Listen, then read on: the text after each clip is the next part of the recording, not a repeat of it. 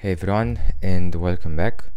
In this video I will show you how I have implemented a notification system for my full stack app which is called Decent Debates. A very important concept that this notification system is based upon is uh, the concept of server-sent events and uh, if you're not aware of what they are, it's essentially sort of like a WebSocket connection in the sense that uh, the connection will persist, will be kept alive until one of the parties decides to end that connection. However, the difference is that um, as opposed to a WebSocket connection, a, a server-sent events connection will allow only one of the parties to send data periodically. In this case, the client will subscribe sort of uh, to the uh, server and the server will send data periodically to the client whenever certain events occur in the app. So basically that is the entire reason as to why server sent events were chosen for this uh, concrete scenario. Now let's quickly see um, this in action. So I'm um, I have logged in as an uh, as a normal user and now what I will do is to uh, propose a debate let's say um, just a debate I'm going to select a tag. I'm going to submit. And at this point the debate won't be visible immediately into the app. First it will be converted into a ticket and uh, this ticket will have to be reviewed by a moderator. And at the end if the moderator decides that everything is alright with that ticket it will eventually accept it. And um, in this case uh, the debate will be visible among the other debates now let's see um, so now a ticket has been created. Let's see what uh, this means for a moderator. So I'm going to log in as a moderator. And as you can probably see already there is um, one unread notification here. Uh, and this is the board of all the pending tickets that have been created. Um, now I will have to decide or to find out which debate was yeah this one anyway so let's see what the notification looks like. And it says that uh, a new debate has been proposed. And uh, it um, also provides us with a link which isn't very useful right now because in a very happy scenario by clicking on this sort of um, the app will be able to uh, scroll to the to that certain ticket but it it uh, doesn't work uh, yet. So this will be a topic for a different video I guess. But it's for now it's enough to see that um, a notification will uh, will be visible here. All right so now uh, let's um, uh, drag this into the in review list which will indicate that this ticket will be um, will belong to this moderator. So only this moderator will be responsible for uh, reviewing it and now if we um, um, expand it now this is in preview mode but if we click on this button we will expand it and it will uh, take us to the to the review page of this ticket. And now as a moderator but also as a user I can uh, add comments for example. And by adding comments we will see um, how a user will receive uh, notifications. So now uh, let's say um, you could choose a better title now I've added a comment uh, please don't mind this uh, uh, poorly formatted date uh, there are many things that are to be improved on this app now if I come back to the user perspective, I can see that I've already received a notification. And this is once again due to server sent events because after I have added a comment, I think I can also another one. Uh, I can also add another one here. Uh, yeah, uh, now there are two unread notifications because on each comment, a user uh, will uh, a user or a moderator depending on who's writing a comment will receive a notification. Now if I click on this bell I can see uh, the new uh, notifications.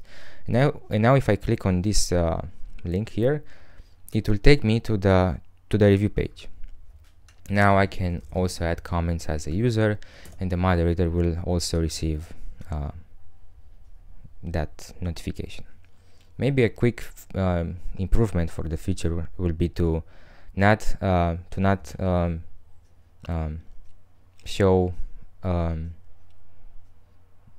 a new number uh, here on, on the bell if the user is already on that um, page that concerns that notification but anyway so this is a quick demo.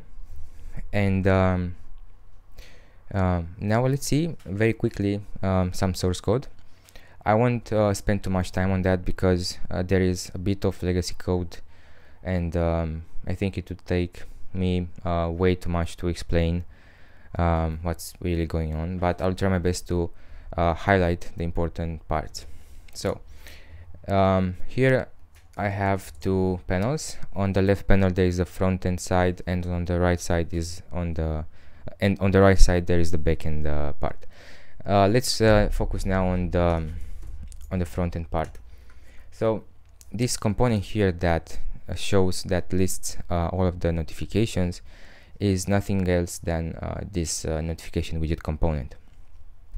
And in and in this component the main part the gist of this component is this use effect which in which um, a new server sent events connection will be established by using the event source class and what's, what's also important to notice is that I'm adding a listener for the message um, listen for the message event, which will uh, occur whenever the server will send some data to the client.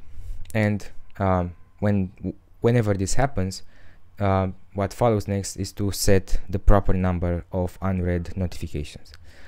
I'm not going to spend too much time on why this logic is here. I admit that it is a bit confusing and maybe it shouldn't be like that but uh, as I've said there is some legacy code which will be fixed uh, with time um, so yeah uh, this is basically uh, one very important part now a different one is um, this uh, handle interaction uh, event handler which will which will be invoked whenever this bell icon is clicked and based on some conditions um, these um, um, all the notifications will be fetched and uh, displayed to the user. Um, I guess this is pretty much it on this. Um, I've used the popover 2 uh, component from the blueprint library for uh, for displaying uh, these notifications and um, other than that I don't think there is anything uh, interesting that is worth sharing uh, with regard to this notification feature. Now let's see the backend part.